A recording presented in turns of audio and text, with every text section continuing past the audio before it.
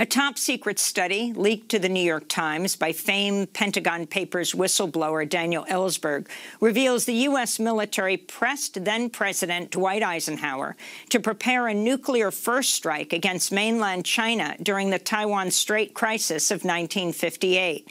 The document shows U.S. military planners were ready to accept the risk that the Soviet Union would launch its own nuclear retaliation on behalf of its ally China, and that millions of people would die. Daniel Ellsberg told the New York Times he decided to disclose the document now due to rising tensions between the United States and China over Taiwan. Senate Democrats have introduced a bill that would trim $73 billion from the U.S. nuclear arsenal over the next decade.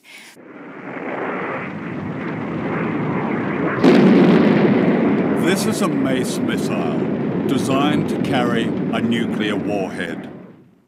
During the Cold War, the United States secretly installed nuclear weapons at this launch pad in Okinawa. Most of them were aimed at China.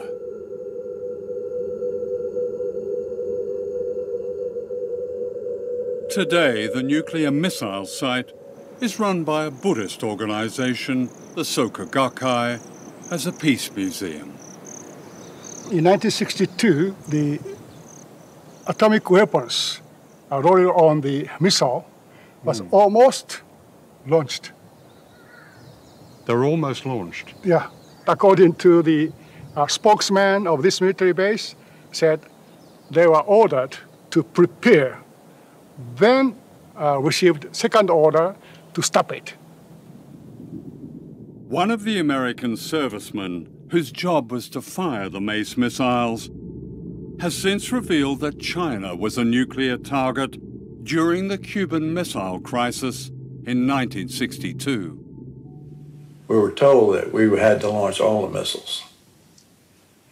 But we only had one missile headed towards Russia, and we did not see why we should have to involve the other countries.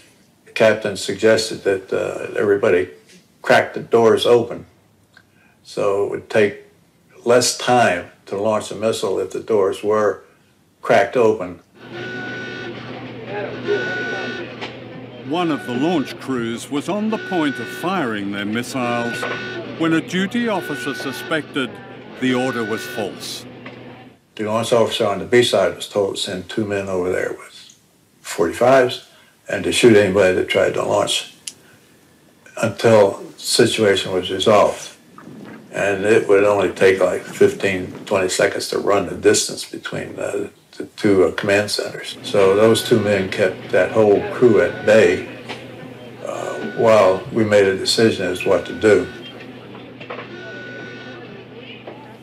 And it wasn't very long, maybe two or three seconds later, where a very nervous major came over the intercom uh, issuing the uh, stand down order. And then we just kind of looked at each other like, we could have exterminated the whole planet. The major who had given the launch order was quietly court-martialed and dismissed from the Air Force. That morning is just as familiar to me and as clear as yesterday morning is. And this is 53 years later. And how clear blue the sky was. And it was just some very light clouds and there was a perfect breeze blowing and a perfect temperature. I did not know what the temperature was, but it just felt perfect. And we were all just kind of taking it in and taking in the smell of the air and the sea and the land mixture together, and everything smelled so beautiful. This is very interesting because it shows the cities mm-hmm. in China right. where these MACE missiles were aimed at. Yes. Which, which ones do we have here? This is Okinawa Island.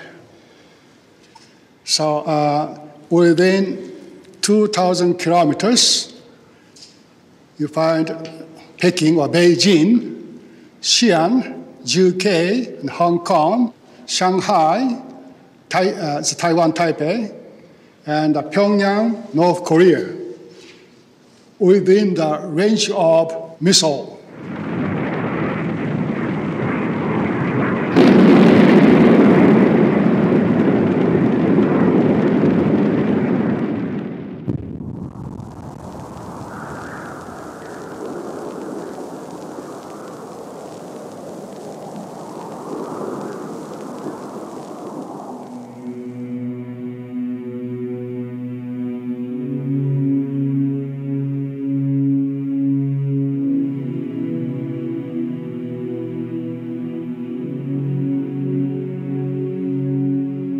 This is the work of the Okinawan sculptor Kinjo Minoru. It's a tribute to the suffering and resistance of the people of this island.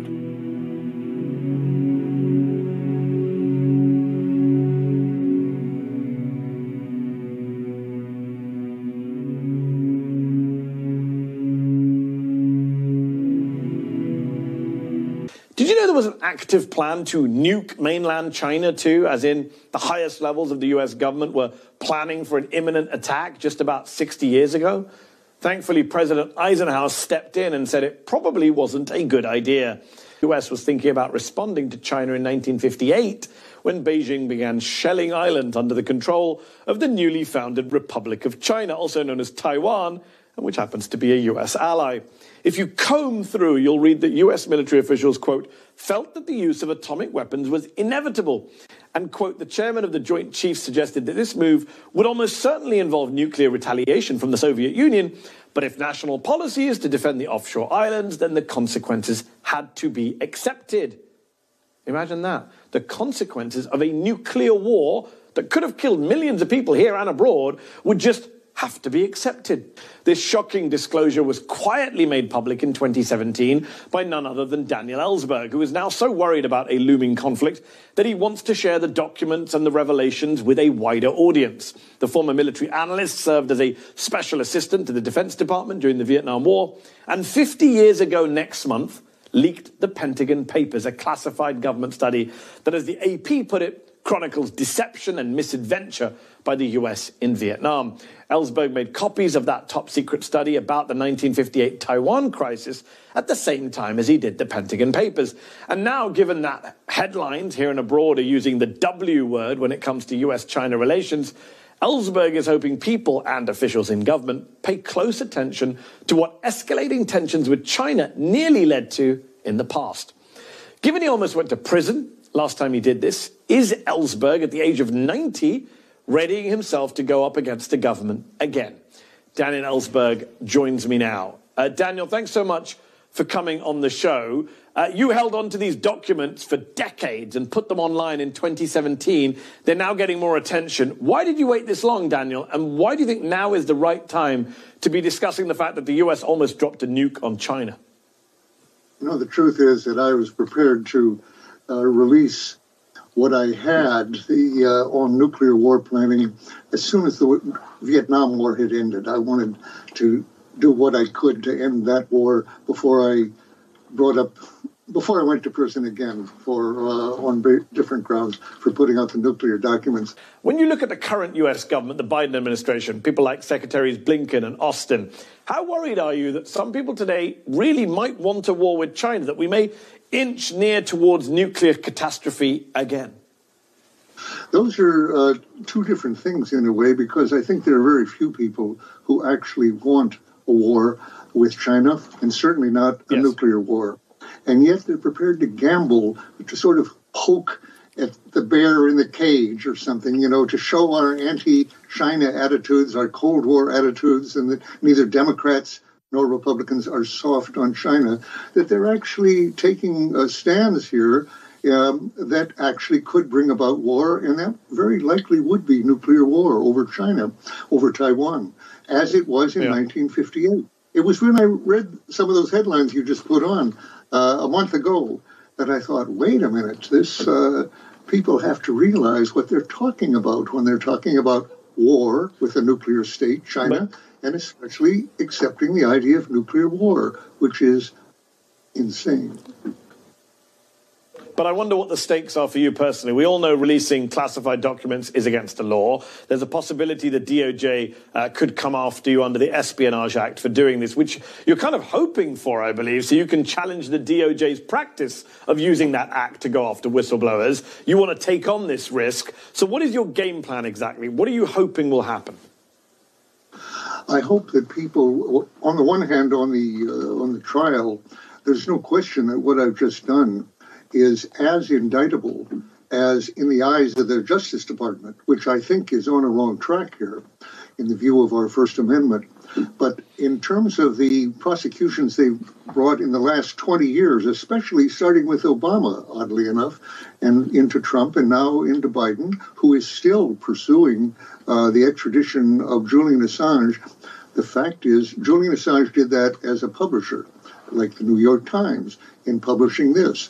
There is no basis for uh, for indicting uh, Julian Assange that doesn't exist for the New York Times, not only with what he put out, but what I just put out. That's I am not inviting an indictment of New York Times. I think that would be bad for this country, but I am willing to risk so, an indictment of myself and you're a brave man for saying so and doing so. Uh, you mentioned the Assange extradition and the Biden administration. You said in a recent interview with The Intercept that I didn't start leaking. I was the first probably to do a mass release, and I wanted much more of that to happen as a result. More has happened, of course. You know, Chelsea Manning and Edward Snowden, Julian Assange, Reality Winner, the list goes on. But Manning spent seven years in prison. Assange, as a publisher, as you say, is facing extradition. Winner is still in prison. Snowden won't return from Russia unless he's able to argue a public interest defense, he says, to a jury, which the current Espionage Act does not allow for, and which Joe Biden supports, as you say. Do you believe there is an ongoing war on whistleblowers, including from liberals? Yes. Uh, one has to say.